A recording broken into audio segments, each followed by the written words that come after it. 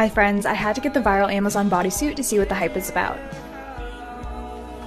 It was a bit of a challenge to squeeze in, but now that it's on, definitely worth the hype. Now let's style it. Number one, fleece line tights. And I also threw on this pleated skirt. I want to go for like a ballet core look. For shoes, I'm going with these chunky loafers. I threw on this adorable shrug and it also matches these leg warmers. For accessories, I did pearl jewelry and this adorable bow. And this is the final look. I feel so freaking adorable in this. Definitely giving off-duty ballerina. Let me know what you guys think. Okay, bye!